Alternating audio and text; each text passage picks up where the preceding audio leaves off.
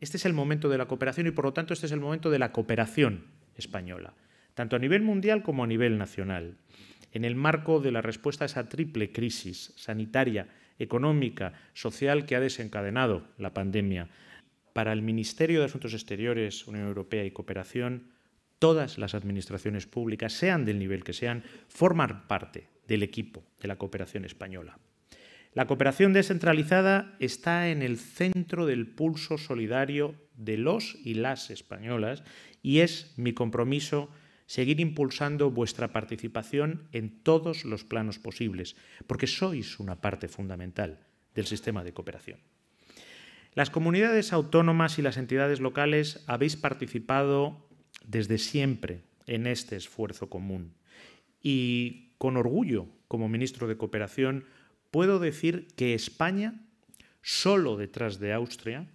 es el país en el que la cooperación oficial descentralizada tiene el mayor peso.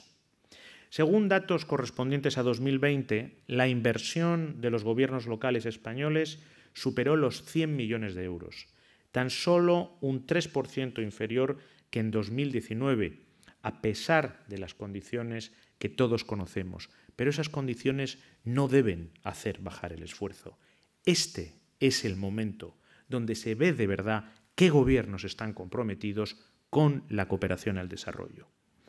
Esto significa que ha habido un verdadero empeño tanto de las entidades locales, de sus cargos electos, de los ciudadanos que los respaldan, como de los equipos técnicos por seguir llevando a cabo la cooperación en este difícil momento de la pandemia. Para la cooperación española, vuestras aportaciones son muy valiosas, porque tenéis la proximidad con la ciudadanía, porque tenéis un especial conocimiento de todo lo que llamamos el municipalismo.